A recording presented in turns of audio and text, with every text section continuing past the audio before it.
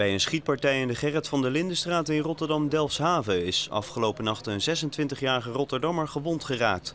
Hij is in zijn been getroffen en naar het ziekenhuis gebracht. De politie doet onderzoek naar de toedracht van de schietpartij en probeert uit te vinden wie de dader of daders zijn.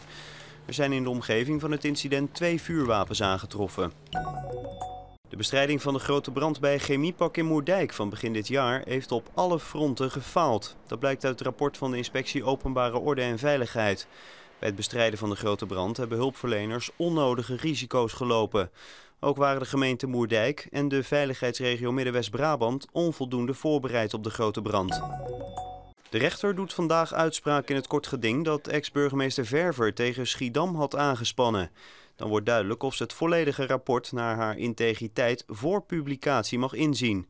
Verver kwam in opspraak na berichten over machtsmisbruik. Ze was zelf niet bij de behandeling van de zaak aanwezig. vooral vanochtend is er ruimte voor wat zonneschijn. Maar vanmiddag weer ja, meer bewolking en verspreid over de regio vallen dan een paar buien. Temperaturen zo tussen de 21 en 24 graden.